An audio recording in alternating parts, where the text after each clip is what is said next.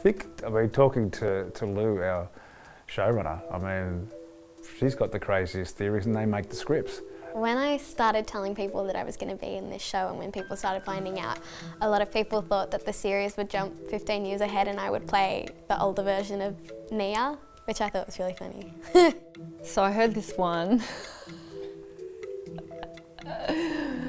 um, that we're all angels and that we're in purgatory, which is really interesting. My grandma quite sincerely asked me if I was just playing myself that was pretty funny.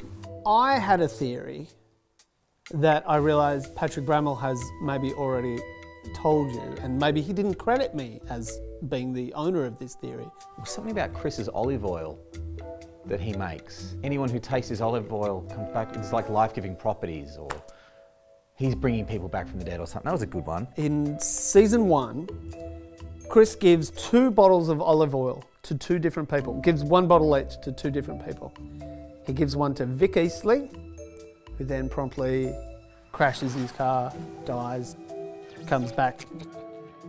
And then he gives one to Sarah, who then goes through childbirth, dies in childbirth, comes back as well. The olive oil one, that Chris is somehow the mastermind of bringing people back from the dead, which Johnny Leary really wanted to run with. He really wanted to be the kingpin of Yoorana the olive oil king of Yoorana.